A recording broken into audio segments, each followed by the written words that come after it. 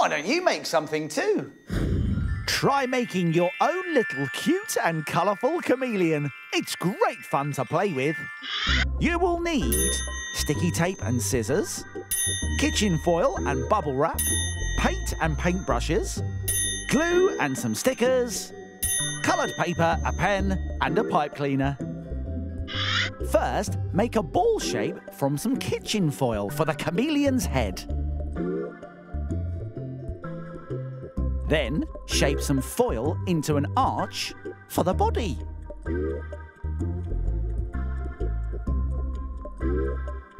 And mould some more foil into a sausage shape for the tail. Next, tape them all together like this.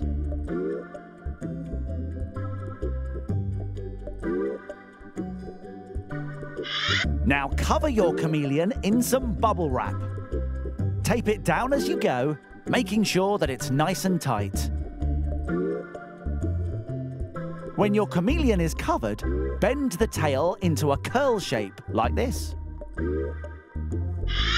Add a squirt of gloopy PVA glue to each of your paint colours and give them a stir. Then paint your chameleon in different colours. And leave it to dry.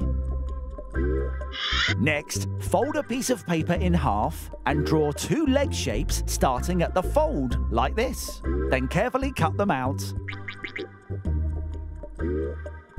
Unfold them and take them to the body. Draw black dots on stickers for eyes.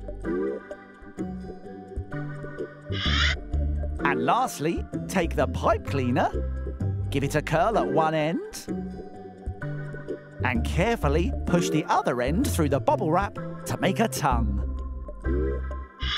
Your very own chameleon is finished and ready to play with.